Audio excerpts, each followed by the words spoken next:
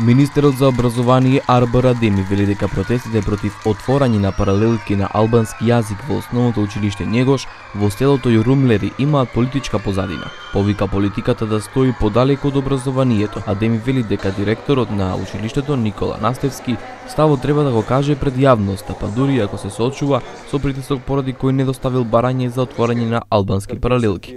Треба да се произнесе и да каже зошто до сега нема такво барање, порачува првиот човек на образование. Кërkesa nuk ka ardhur, informacionet Такво барање нема пристигнато. Моите информации говорат дека одредени лица вршат притисок врз директорот на училиштето. Би требало и тој да се произнесе пред јавноста во врска со тоа дали има притисок и дали има волја.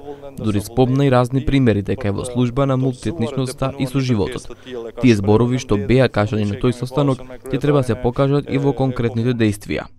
На прашање на ТВ21 што ќе преземе Министерството доколку директорот не достави барање за отворање на паралелки на албански јазик во училиштето Негош, Адеми со одговор. Unë jam i hapur që ti pres në takim. Јас сум отворен за уште еднаш да го пречекам директорот на училиштето на средба во Министерството за образование и наука, како и останатите. Ваквата постапка во образованието привлекува други проблеми и предизвици во други области.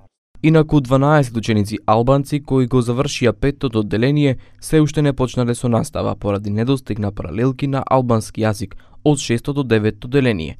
ТВ21 побара став и од градоначалникот на општина Газибаба Борис Георгиевски, добивме одговор дека е надвор од државата и дека ќе се произнесе во текот на утрешниот ден.